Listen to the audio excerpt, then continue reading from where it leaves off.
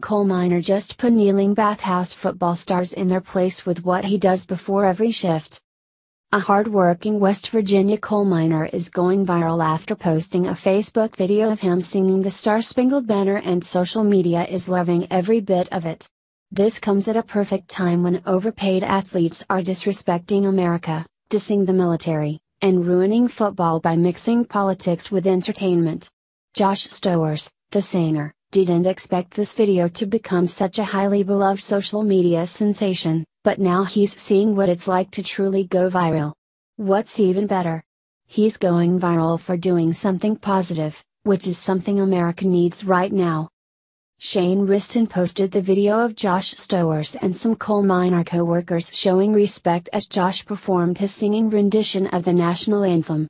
The video completely influences a positive outlook on America, being thankful for what you have, being respectful to our great country and the veterans who fought for us, and sheds a bright light on the darkness portrayed by the athletes who keep protesting the flag and ruining the NFL more than Roger Goodell was ever able to.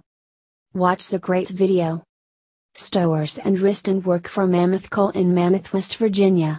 Josh's singing has drawn an avalanche of positive reaction across the United States, not only because he sings so well, but because the gesture is such a stark contrast to the NFL players who refuse to stand for the national anthem. The average annual salary for a coal miner is $55,000 to $60,000 a year. It is a dangerous, physically taxing, unglamorous job, but the coal miners at Mammoth Coal salute their country every morning before starting work. Just think about that for one second the coal miners earn up to $60,000 to do a horribly dangerous job that comes with absolutely no glamour, no thanks, and they are partially responsible for providing the resources to energy for tons of places in our country. Yet we won't see them on television. We don't know who they are. They don't get to sign autographs. And here they are being more respectful than any of the overpaid and ignorant celebrities in the National Football League who protest and trash America. Our coal miners come home dirty, disgusting, exhausted, and underpaid. Our NFL athletes go home sweaty and maybe have dirt on them if they're not playing on turf. They collect millions, live an extravagant lifestyle, and the NFL consistently overcharges for everything, thus ripping off Americans on a weekly basis for overpriced items at stadiums. And who do children idolize? The hard-working coal miners who keep this country running or the NFL athletes who are more privileged than almost every American citizen? The NFL could close tomorrow and our country would continue to run. The coal miners could quit tomorrow and we'd be in trouble. The coal miners are more important to us, but they're not paid well nor living the glamorous lifestyle of an overpaid football player. In contrast, NFL player Colin Kaepernick signed a seven-year, $126 million contract in 2014, which he later opted out of.